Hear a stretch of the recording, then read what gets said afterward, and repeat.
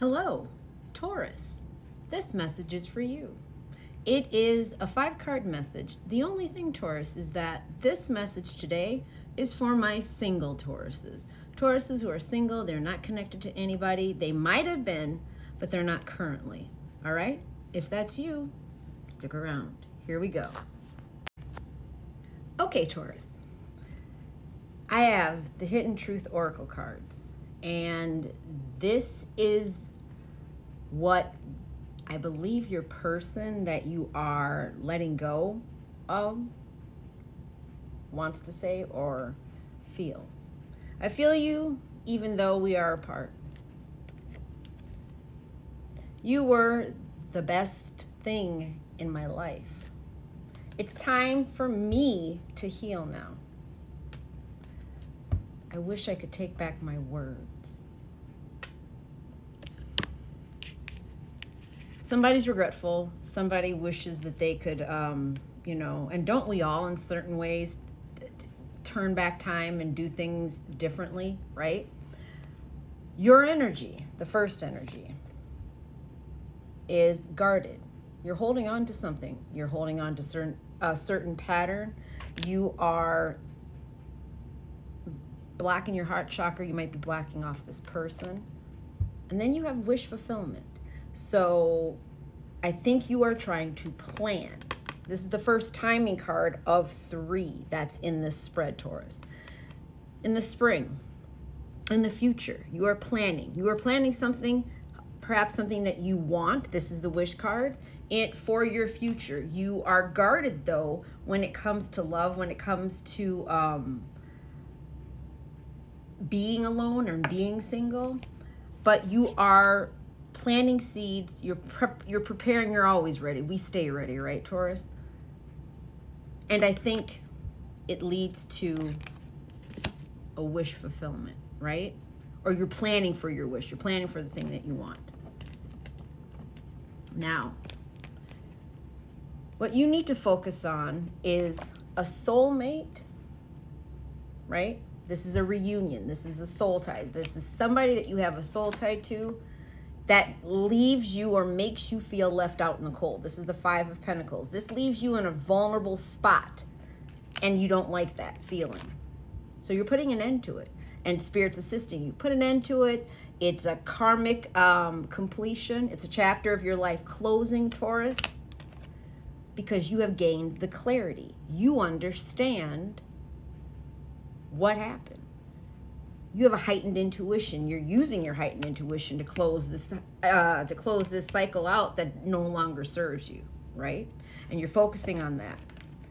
What's been difficult? I think this, and I always say that this is new romance. It could be difficult too to love yourself. It could be difficult to uh, find a romantic offer that is worthy of something that you want to be with somebody feels like they've sabotaged something. Somebody feels guilt. Somebody feels sorrow, anxiety, insomnia. This is the nine of swords. Um, for some of you or somebody around you, because um, energy is kind of, it's, it's dual. This is a feeling of loss. This is fear. This is regret. This is remorse. This is, um, why did I do that? Why did I do that? This could be I wish I could take back my words, right? And this too.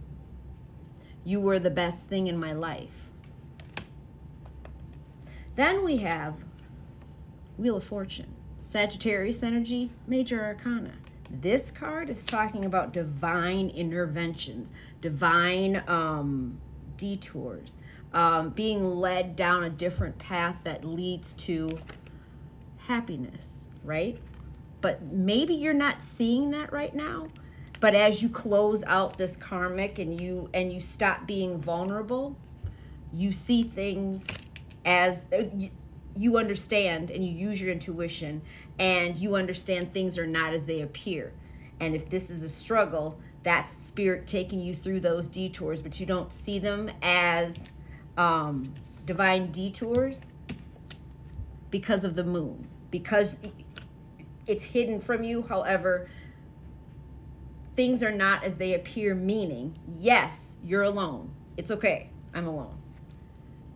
But saying that, it's not, you have some barriers, something, some things that are not being seen um, fully yet. I hope I'm making sense, Taurus. Okay. In the future, you have two timing cards. The first timing card oh, was this one, Autumn. This is about harvesting, about letting go, about pillaging, starting over, clearing out. Your soul has grown.